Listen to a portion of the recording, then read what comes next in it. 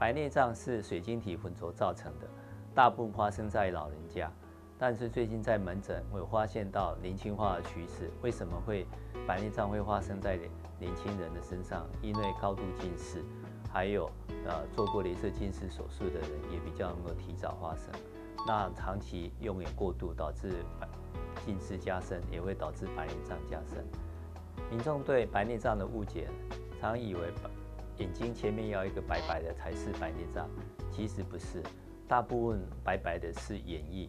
白内障是在眼睛的深层的水晶体的地方，一般从外观看不到，所以呢，白内障从外观看不出来，除了用眼科的仪器。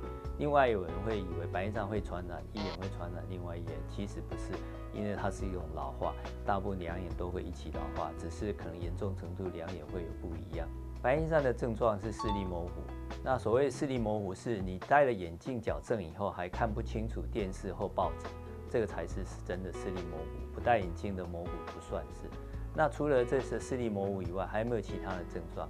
有，比如说他看东西突然就看成两个，哦，那还有你原来需要戴老花眼镜的，突然觉得哎看东西变得清楚了，不用戴，其实是因为白内障导致近视的加深，导致了你不需要戴老花眼镜。另外有时候晚上看东西会。